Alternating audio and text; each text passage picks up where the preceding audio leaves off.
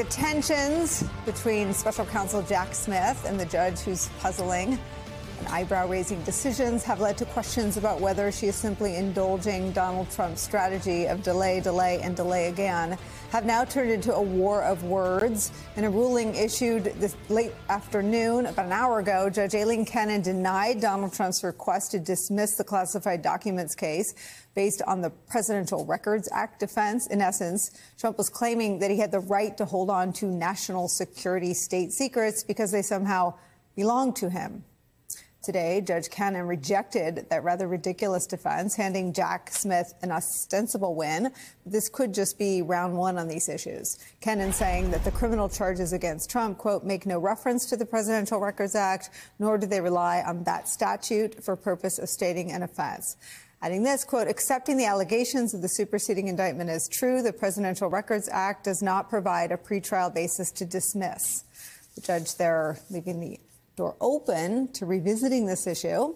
And as we reported on this very broadcast at this very hour yesterday, Cannon had asked both prosecutors and Trump's defense team to address the question of whether those documents could be considered personal in jury instructions, which led to a sharp rebuke from special counsel Jack Smith's team. He called the idea, quote, fundamentally flawed in her ruling today, Cannon fires back, saying that Smith's demand to settle the issue of whether the documents could be considered personal once and for all is, quote, unprecedented and unjust. It's getting hot in here. That's where we start today with two of our favorite experts and friends. Former lead investigator for the January 6th Select Committee, Tim Heaphy, is here. With me at the table, former top official of the Department of Justice and MSNBC legal analyst Andrew Weissmann's here. Uh, break this down for me. Well, it may be a bit confusing for people because you might think, oh, well, she ruled for Jack Smith on this motion about the Presidential Records Act, so what's the problem? Jack Smith said, I need a ruling on the Presidential Records Act that it's not a basis to dismiss the indictment, and she ruled in his favor that it's not. Here's the problem. Until this ruling today, she skipped over making this ruling and said, Oh, I just want you to give me jury instructions, which was already very bizarre for a, a, trial that has not started and there isn't even a date for it to start. When do you normally give jury instructions? At some point during the trial.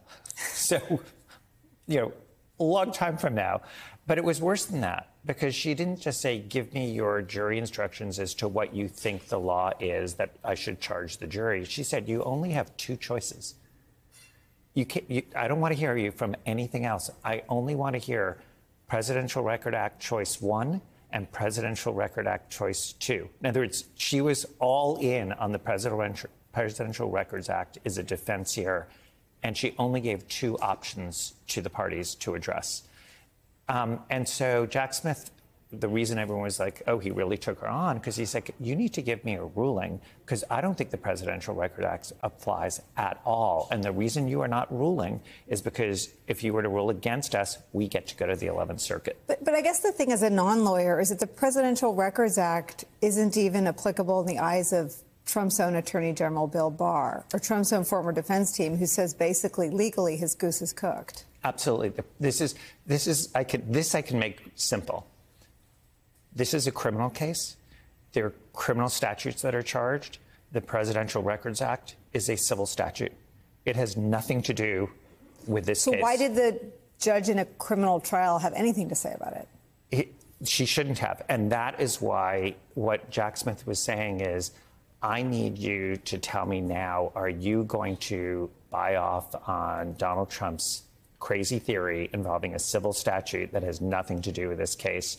And so it's basically a talking point for his Fox News interviews. Exactly. And but it also would be a basis for her to say, I'm dismissing this case on this crazy theory, and and this is where it is complicated. If she did that um, during the trial and did what's called a Rule 29, she has unfettered, unreviewable discretion to get rid of the case. But can't she still do that? So exactly. So the, the part that you read as when going into this, which I think is key, is she said that the Presidential Record Act does not provide a pretrial basis to dismiss. In other words, I'm not going to dismiss now. So what that means is Jack Smith is one pretrial, he, so he's prevailed. but that's pretrial. She's not saying it's not a basis at trial. Um, and that, just to be clear, it is not a basis pre-trial. It is not a basis at trial. It is not a basis after trial. It has nothing to do with this criminal case.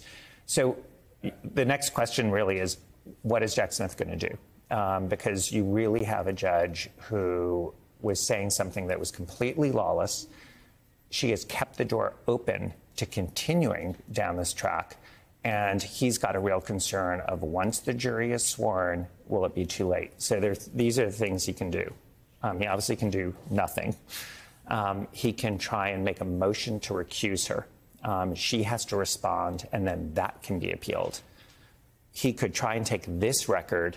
Why hadn't he done that already, based on the fact that she hadn't ruled on anything yet?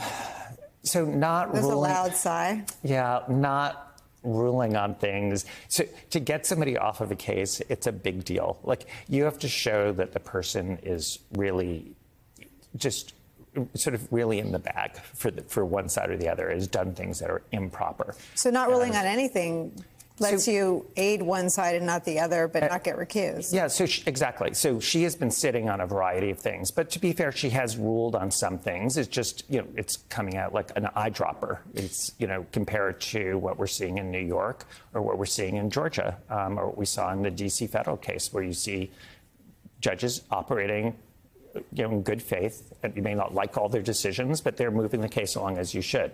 So she is not doing that, but she is making some rulings. So it's not like she's put a complete stop um, to the case in terms of making some rulings.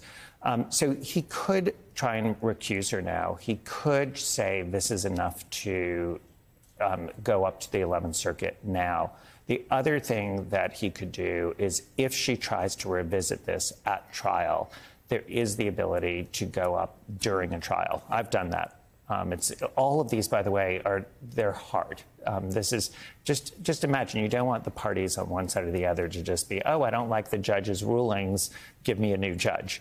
Um, you have to have a good record. I do think here there is a good record. One of the things that I just found amazing is obviously you know, Jack Smith pushed for this, saying you need to make a decision, and within one day, she's making this decision. So he's sort of won the, you know, the battle, um, this this little skirmish. But some of her language is it's hard to not view it as, I don't know how to describe it, disingenuous, um, not terribly candid, um, where she said, I was just, when I ordered you to address just one of two options and only those two options, she said, I was just trying to understand the party's positions on the law.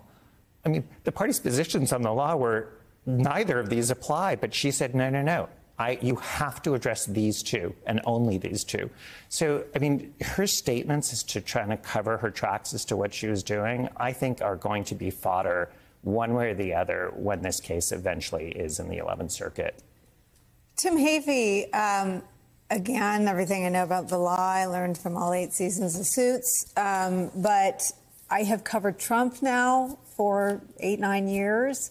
And if I were interested in holding him accountable, I would want to be somewhere where this nine year record of people that are tied to him doing whatever he wants them to do couldn't interfere with the, we were talking about the facts, the facts of the case. The facts of this case are they're they're you know they're they're they're a supernova. Bill, you can't get between Bill Barr and a camera when he's talking about this case because he thinks it's open and shut and done, and Trump is toast. You can't get between Trump and and uh, some people who've represented him in other legal issues where they successfully muddied the waters in terms of what Trump's base thought of it. Not so with this case, where one of the star witnesses is his own lawyer, Evan Corcoran, his criminal defense attorney. I mean, what stops Jack Smith? Or what has stopped him from from charging part of it somewhere where he doesn't have to deal with a judge that doesn't seem interested in an aggressive pursuit of the facts? Yeah, it's a good question, and and prosecutors make venue choices based on a lot of factors. There may have been some conduct here that took place in other jurisdictions. There's been some reporting about uh, documents you may have maintained in New Jersey. Maybe you could argue Washington is a place because that's where the information originated. But the default, Nicolle, is to charge the case where the majority of the conduct occurred. that is Florida. And again, you don't get to choose the judge that you draw. There are several judges in that federal district in Florida. So I think Jack Smith has been hoping all along that for all the reasons you said, because of the strength of this case, the relatively straightforward theory, it doesn't matter where it's tried. It's just so strong and so compelling that he could charge it in any any jurisdiction and it wouldn't matter. Um, he's facing a really inexperienced judge who has only had four or five criminal trials as a judge um, not ideal for a case that does raise some novel issues. I think they're novel, they're not that complicated. And to go all the way back to what Andrew was saying, the, the Presidential Records Act just does not apply here. The Presidential Records Act deals with paper, with, with records, and it's a civil statute that says something doesn't involve your official business as president doesn't necessarily need to be maintained by the archives upon your departure. The Espionage Act, which is what's at stake here, that governs information. Doesn't matter the form in which it takes. You could say something out loud, and if it's classified and it is not secure and it is intercepted or overheard by someone, or if it's in a document, or if it's in a phone call, or whatever the form, it doesn't matter, right? So, so he's charged violation of the Espionage Act based on information. He says the Presidential Records Act, that civil statute, that doesn't apply. That's right. I mean, that's really clearly right. And Judge Cannon's inexperience, I, I won't go as far as to say, you know, bias uh, uh, uh, toward the former president. I'll, I'll leave that to others. But for whatever reason, we're not getting to the courtroom. I think Jack Smith doesn't have a basis to recuse. An inexperienced judge who rules slowly is not a basis. There needs to be some indication of a personal bias. I think his really only choice is to try this case to continue to argue the inapplicability of the Presidential Records Act and hope that she is convinced by the real clarity of that position whenever she rules mid trial. She doesn't give those crazy jury instructions that were submitted.